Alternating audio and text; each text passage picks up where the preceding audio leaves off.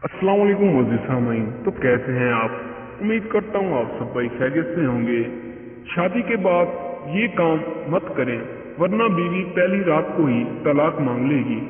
हम बिस्तरी तक नहीं खुलने देगी।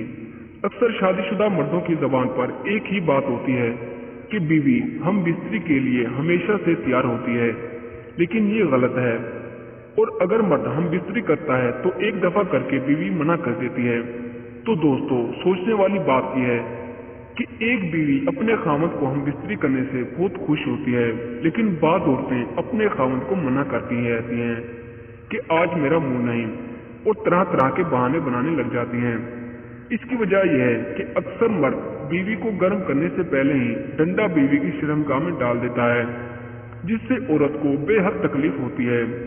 औरत को मज़े की बजाय दर्द होता है, और इसकी चीखें निकल जाती हैं।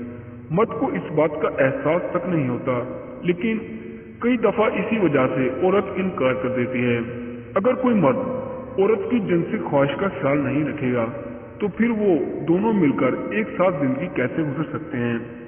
क्योंकि इससे औरत मर्द के इस हरकत से खुश नहीं होती, जिससे दोनों में दूरियाँ पैदा हो जाती हैं। क्योंकि अगर मर्द औरत की जिनसी अमल का ख्याल नहीं रखेगा तो फिर वो खुशहाल ज़िंदगी नहीं गुजार सकेगा। बाद में ये नौबत तलाक तक पहुँच जाती है। औरत से हम बस्तरी करने से पहले ये लाजिम है कि औरत को गर्म किया जाए ताकि औरत की शर्मगाह गीली हो जाए और दखुल बसानी हो जाए। तकलीफ़ की बजाय मज़ा आए। इस मकसद के लिए आपको औरत की रानों पर हाथ फेरने चाहिए। नाजुक जगह जैसे कि सीना और होठ है। इनको चूमना चाहिए। इन जगहों से चूमने से औरत में जोश पैदा होता है। आहिस्ता आहिस्ता हाथ को औरत की शर्मदार तक भी ले जाएँ और फिर औरत जल्दी से गर्म होकर गीली हो जाती है और यही सबसे अच्छा वक्त होता है अपना नफ्स अंदर डालने का। आप अंदर डालें और ज़ोर से झटके मारें।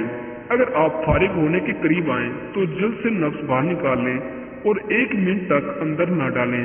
ऐसा करने से आपका नफ्स नरम हो जाता है और आपका टाइम बढ़ जाता है। ऐसे रोज करने से आपके नफ्स की वर्जिश होती है और कुदरती तौर पर आपकी टाइमिंग बढ़ जाती है। अगर आपको हमारी वीडियो पसंद आई हो तो वीडियो को लाइक करें और चैनल को सब्सक्राइब करें। तो मिलते हैं अगली वीडियो में। तब तक के लिए अल्लाह हाफिज।